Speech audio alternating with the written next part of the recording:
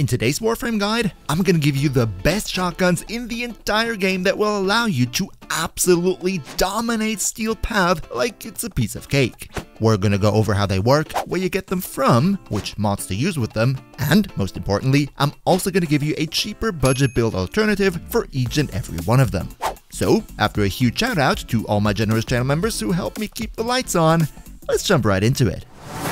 Jumping in with not only one of the best, but maybe even the very best shotgun in the game at the moment, which would be no other than the Strun Prime in Incarnon. See, in its normal form, the Strun is a very traditional shotgun. Shoots a lot of pellets, single shot, and also when you reload it, it's a shell by shell reload, so you might or might not like this. However, turn it into the Incarnon form and this thing goes absolutely nuts, shooting a sort of explosive plasma projectile that has a good range and deals not only tons of damage, but also that damage is mostly slash with a ridiculously high status chance. So I think you can all imagine what this will end up looking like, and I'm not lying when I say this thing is so insane that it actually killed my frame rate because there was just too much going on on the screen at any given moment. Now, since it's an Incarnon weapon, of course there are also Incarnon evolutions, and we're gonna talk about this here in a second, just one quick observation that I made with Incarnon shotguns in general is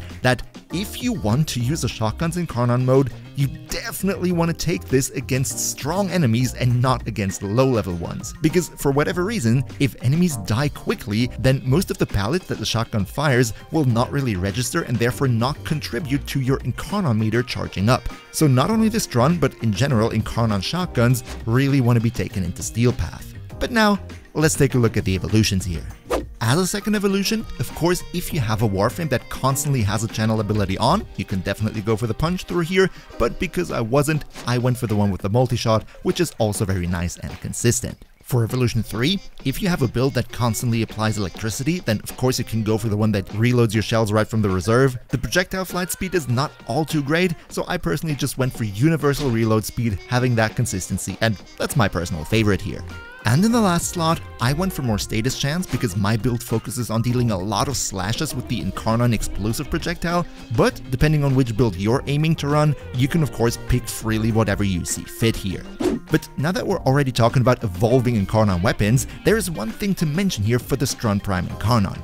If you don't have the Prime version of the Strun and it's currently not available in the game, then you're absolutely fine to also take the Strun Wraith and incarn on that, because even though at base the Strun Prime has the far superior stats, with the evolutions, the Wraith version gets much bigger boosts, therefore they're pretty much on par when it comes to their Incarnon form. When it comes to the build, I went all out into status chance and even added additional prime point blank to give us more base damage because that makes the slashes bigger, and also I added sweeping serration just to make sure that the slash part is even more predominant in the damage mix so we're getting more slashes out of all these explosions. This right here would be the budget build alternative, which I think also works pretty nicely, and as you see in the background, this thing absolutely shreds and I personally would recommend using this slash build against highly armored Grineer or Murmur, just anything that dies with slashes easily. And if you now think that sounds all nice and dandy and you want to get your greedy little fingers on your own Strun Prime Incarnon, then you get the Incarnon adapter for this one from the Duviri circuit. Once you have that, go to Cavalero on the Zariman 10-0 and evolve your Strun of choice with that adapter. Up next on the list, we have an absolute fan favorite since it was released, and that is no other than the Cedo. The Cedo is a really interesting weapon, because at first glance it's just a fully automatic shotgun with a very tight spread, you know, so you don't need to get that much up close and personal to your enemy, but the real kicker with this one is the alternative fire mode, which shoots out a glaive that bounces between enemies and deals all types of random status effects to them, basically lighting up the whole room like a Christmas tree. Especially if you personally are not that much of a fan of this playstyle of first switching to your secondary weapon to prime the enemy with a status, then going back to your primary and dealing the actual damage, then the Cedo would be the perfect shotgun for you because it brings the best out of both worlds to the table for you. You can status prime with that glaive alternative fire mode and then just finish off the enemies with your normal fire. For the build, we have nothing special here, we go for a crit status hybrid approach because the normal fire is pretty crit heavy, whereas the alternative fire mode is more status based. This right here would be the more budget friendly approach. And if you don't want to get a Cedo for yourself, then head over to the Necralisk on Deimos, talk to Father, and from him you can get the main blueprint once you reach rank 4 with the Entrati, and the component blueprints, but those only at rank 5. And yes, I got this one as part of being in the creator program, and I'm not actually even rank 4 with the Entrati myself. It's a bit embarrassing, please don't hate me for that. One thing that's definitely not embarrassing though is the next weapon on our list and that is one of my personal favorites, the Phantasma or Phantasma Prime. We're gonna get into the normal versus the Prime version here in a bit, but first of all let's look at what the gun can actually do. The Phantasma at base is not really a shotgun, because what it actually does is it shoots out a consistent laser beam, more like a rifle, and this one has a crazy high fire rate plus status chance. It also has an alternative fire mode where it shoots like a big blob plasma projectile, but honestly I never used that myself, and I think the same goes for most of you.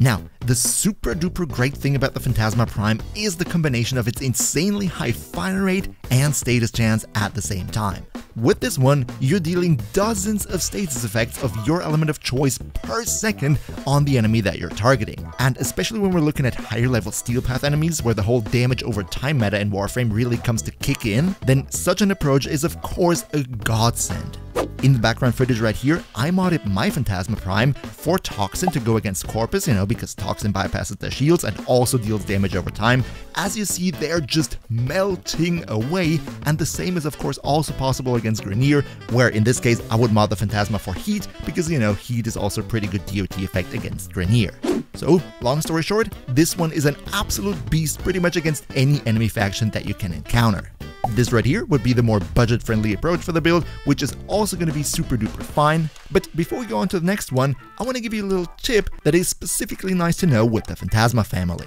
While yes, technically the Phantasma Prime should be the better weapon, the only thing that it really improved in comparison to the normal Phantasma is having a little bit higher crit characteristics, which is not important because we're not building for it anyway. So unlike most other weapons, here it really doesn't matter whether you go for the Prime or the normal version, they're pretty much equally strong. And just on the side, should you have a Riven for a Phantasma, then I would actively encourage you to go for the normal version because the normal version has a higher Riven disposition than the Prime, therefore the Riven will be more potent, making the normal version of the Phantasma actually better than its Prime.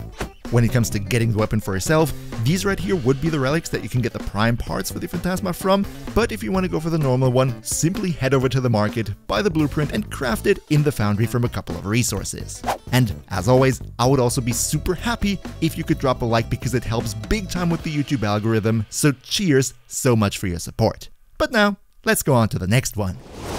And that would be, of course, the Bubonico, because there's no best shotgun list in Warframe without mentioning this beast right here.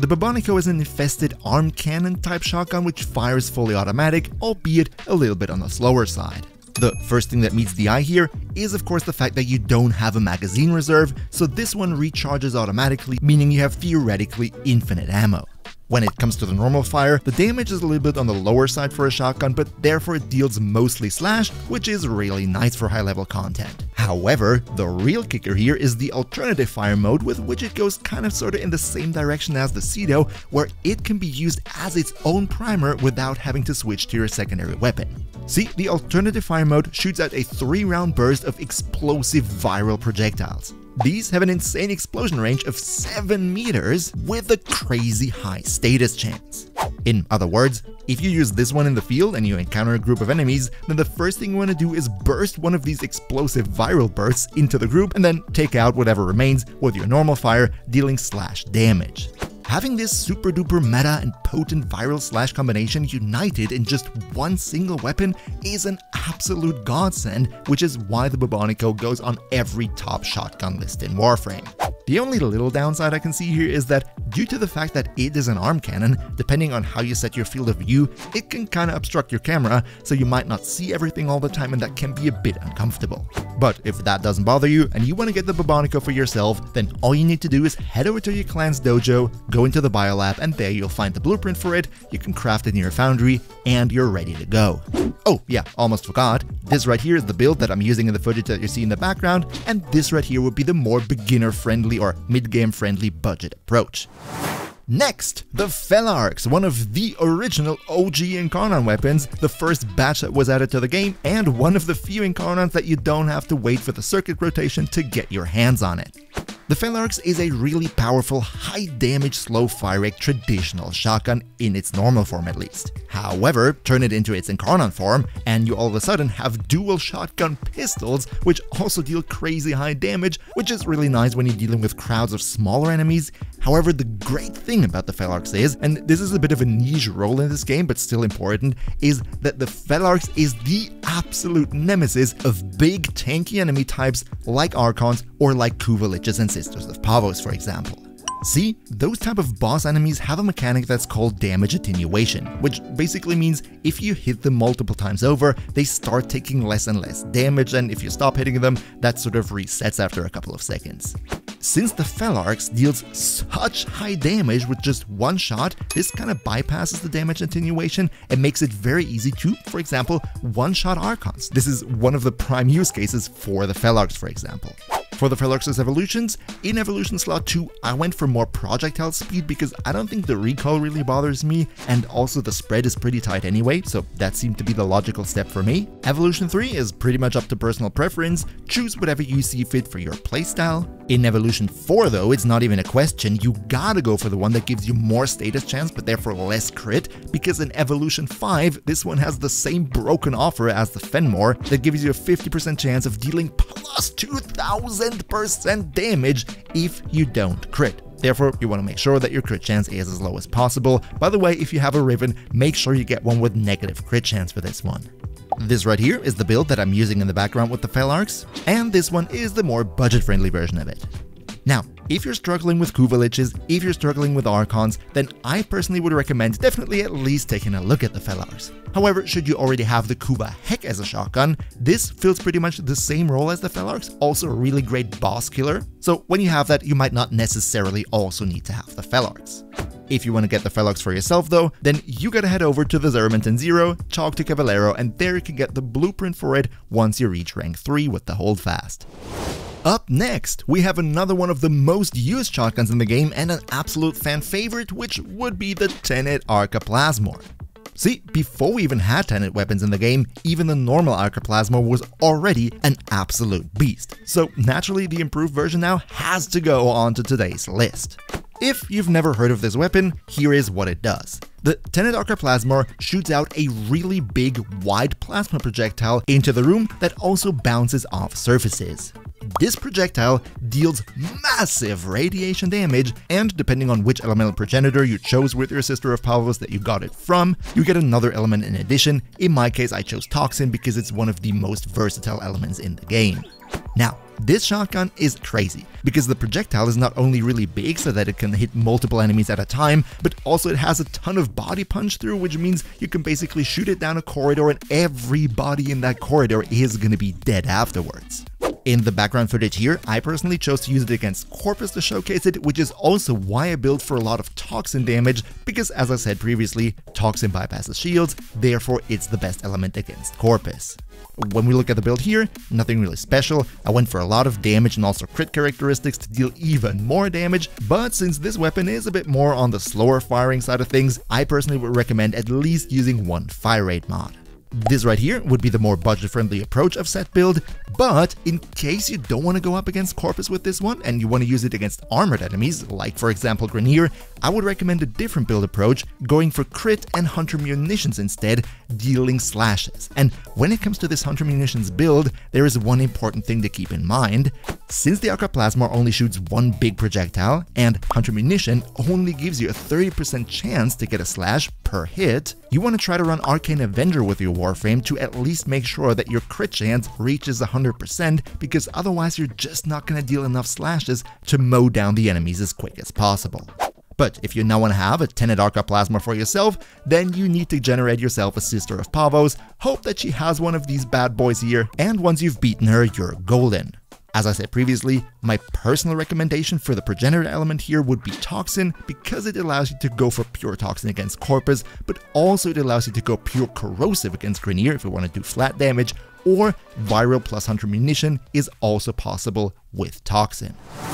Alright, so the next weapon on our list is a really special one, because it's one of my personal favorite weapons in the game, it's already available at a relatively low mastery rank, and I think 90% of the community is still sleeping on this incredibly powerful bad boy right here. You might have already guessed it, what I'm talking about is, of course, the Corpus Convectrix. In case you've already seen my video on the best rifles in the game that I released a couple of weeks ago, I was talking about the Tenet Flux rifle being a really great beam slash weapon, right? I think some of you will remember that. Now, the Convectrix is pretty much exactly the same thing, just as the shotgun version. It also shoots a beam, or two beams to be precise, those also have a high status chance dealing mostly slash damage, and therefore this one is an absolutely deadly weapon against any enemy with a ton of armor. Now, the reason why I think a lot of people sleep in the Convectrix is because of its weird mechanic that when you pull the trigger, those two beams that it shoots need one or two seconds to reunite in the middle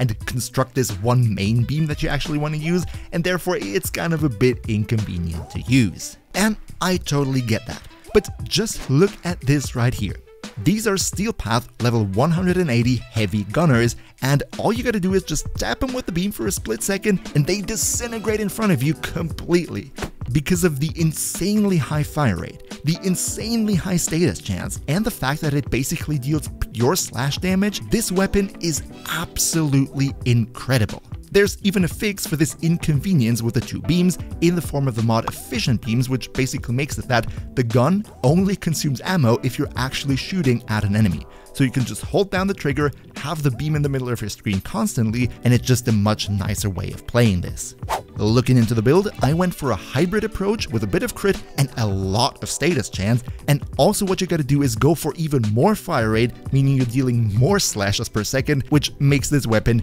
even more deadly.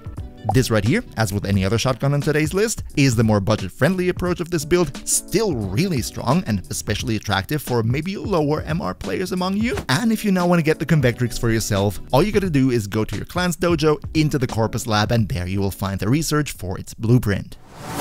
Next, another Incarnon weapon, this time in the form of the Boar Prime Incarnon. This one looks pretty much the same as the Strun, but it is not semi, but fully automatic, putting a lot of lead down range and having a full magazine reload, so you're not reloading every shell individually like with the Strun. Now, the first thing that you'll definitely notice here, as in comparison to other weapons, is this one has a really big spread. So when you want that all your shells hit the target, you need to get really up close and cozy with your enemy. However, this whole thing being an Incarnon weapon, of course there is also an Incarnon mode, and that means basically the normal fire is just used to charge the Incarnon mode, and that is also definitely recommended because the Incarnon version of this one switches the Boar to a sort of heat beam rifle type of weapon, where you shoot out a ray of pure heat damage with a very high critical chance critical multiplier and also a decent status chance, and the cool thing about this is, you don't even need to aim the darn thing. Once the beam has connected to an enemy, you can just look away into a different direction and the beam will still continue firing towards that foe.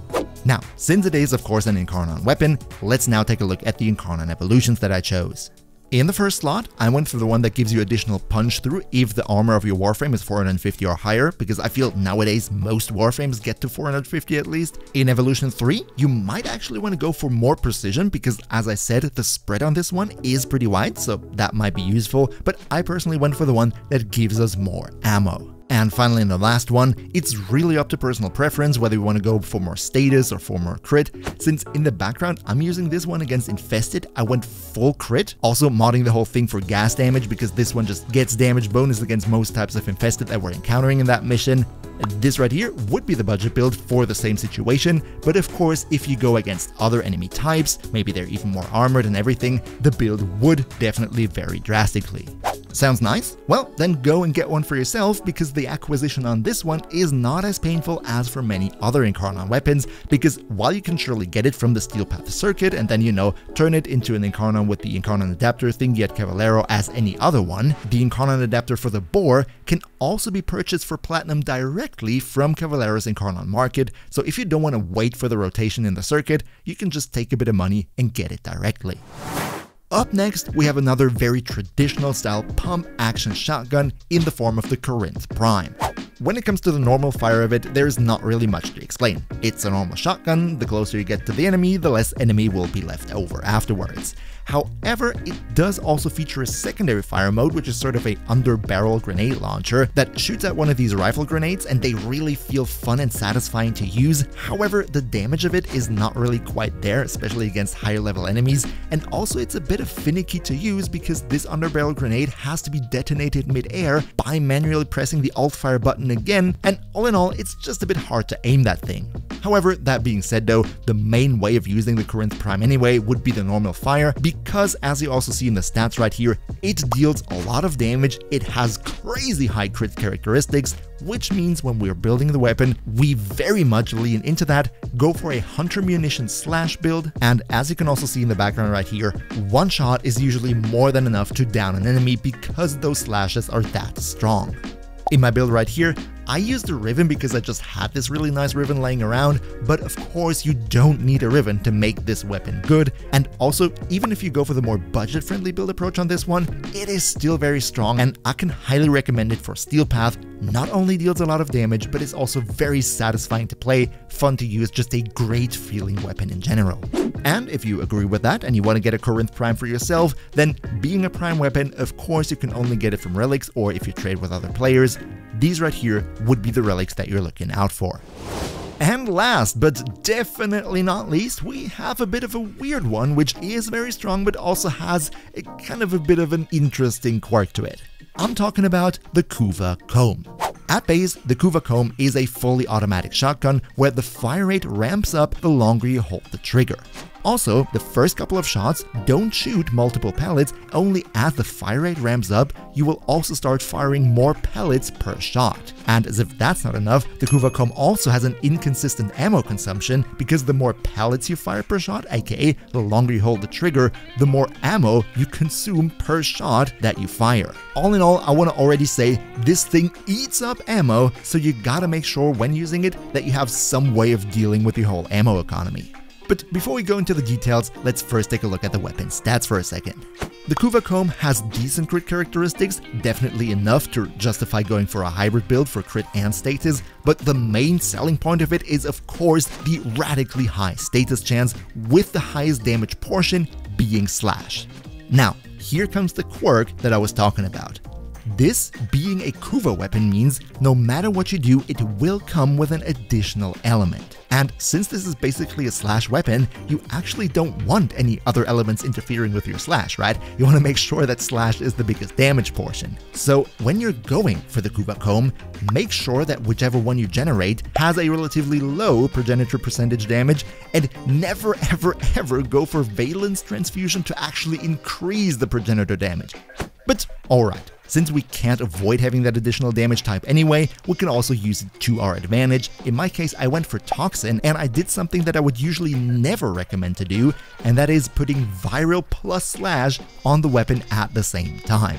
The way I build is I went for Sweeping Serration to make sure that Slash is still the biggest portion of the damage, and then for Frigid Blast but only level 0 to make sure our Toxin gets turned into Viral, but at the same time the Toxin portion of the damage, with Frigid Blast being only level 0, will still be lower than the Slash. This way, we're gonna deal more slashes than viral effects, but still enough viral effects to weaken the enemy. I'm not sure if this is the most efficient way to build the Kuva Kohm, but it was definitely a fun experiment, and especially if you personally like to go for viral slash on other weapons anyway, then this one right here is probably one of the best weapons in the game to do so. Right here we also have the more budget-friendly build approach, and when you want to have the Kuva Kohm for yourself, since it's a Kuva weapon, you gotta have a Kuva Lich with the Kohm and then hunt that Lich down. And just by the way, if you now also want to know all about the best rifles as well, then don't miss out on this video right here. Another big shout out to Niels V, Demon Emperor, Emperor Prime, Bland Waffle, Nostalnex Gaming, Lycan Shepherd, Turtlepeer, Shadow Soul, JPT Cookman, Pepperwolf, and all other generous channel members for your continuous support. We see each other, hopefully in the next one, and until then, as always, good loot and a beautiful weekend.